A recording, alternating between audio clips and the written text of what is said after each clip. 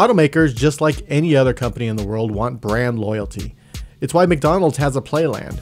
You gotta hook 'em young. The Nissan Kicks is sort of like that. It's fun, shiny, inexpensive, and you really shouldn't expect too much from some of its features because, did I mention fun? There's nothing wrong with shiny fun. My first car was shiny fun. We should revel in vehicles that make us feel good even though they can't outrun a city bus.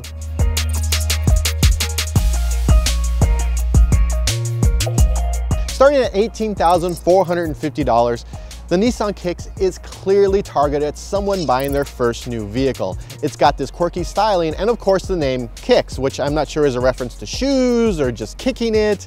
And frankly, the moniker is something that someone over the age of 35 definitely does not want on their credit report. But who cares about the olds? This car is for young people. Well, at least young people who can afford a monthly car payment. So let's live like Generation Z and cruise around in this wacky little Nissan. The tech that is in the car is well thought out. There isn't, well, adaptive cruise control or lane keep assist because, well, those are costly. It does have a nice suite of safety features though. It has blind spot detection, it has emergency braking, and it has rear cross traffic alerts, which are great and they're very helpful for new drivers or seasoned. Another nice surprise is the rear camera. In addition to helping you back up, you can add the 360 degree view of the around view monitor. This is something that you typically find on higher priced vehicles, but it's so helpful, especially for anyone that lives in the city and has to parallel park.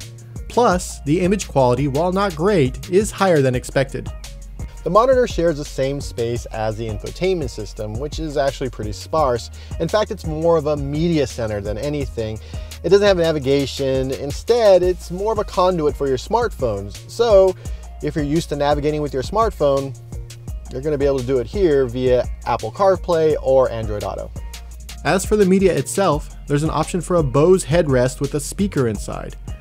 I think it sounds better with the speaker next to my ears, but I really can't tell. What it is, is a fun thing to tell your friends about. The display is sharp, but there are some latency issues with the system itself. Like the engine, the in-dash tech isn't in a hurry. The dash console is bright and easy to navigate with details about the car, tires, and what you're listening to only a few clicks away. It's agreeable like the Kicks itself. Like all entry-level vehicles since the dawn of time, the Kicks doesn't have a lot of acceleration. Sure, you can stomp on the accelerator and it'll make a lot of noise, but not so much, you know, speed. Its 1.6 liter four cylinder engine produces a paltry 125 horsepower and 115 foot pounds of torque.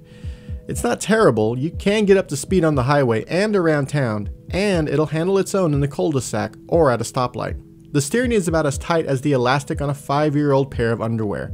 You spin it and the crossover turns, but it's more of an invitation than an immediate action. Oddly enough, when it is turning, it handled the twisties in Marin County surprisingly well.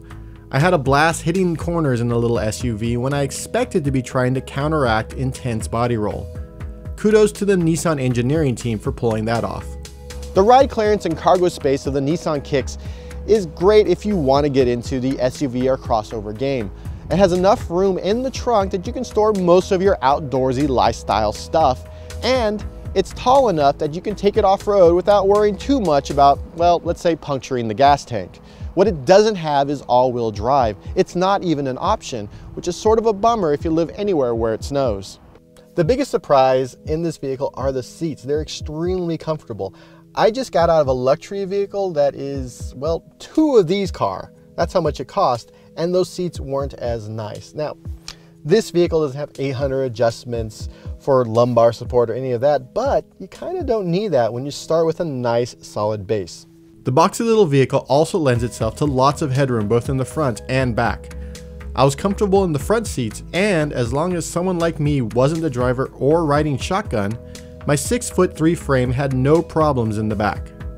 The interior styling isn't as quirky as the exterior, but it does have a little bit of flavor, especially in the dashboard. Now, this looks nice, but it looks like the design team ran out of cash when they actually got to the doors, which looked like someone just grabbed a piece of plastic and cut a notch in it for the latches. The plastic and vinyl materials themselves are standard fare for an inexpensive car.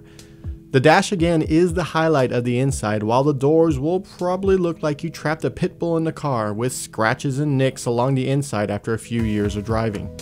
We all end up with something as our first car. With a starting price of under 20 grand, the Kicks makes a good case for a vehicle that's fun and checks off the desire to own an SUV with all the utility that comes with that. It's easy to option the vehicle out to a little above $20,000, but it's still cheaper than most of the rest of the stuff that's on the road. Its only real competitor at this price range is the Kia Soul, which is another quirky looking vehicle. The Nissan Kicks is a little SUV or crossover as the marketing team would have you believe that fits most of your friends and their gear. Now I'm assuming Gen Z rides a lot of electric skateboards and they'll fit back there. It's not packed with a lot of features, but the ones it does have, they do quite a lot. It's Nissan's play for the young hip crowd buying their first new car, and overall, it's doing a good job.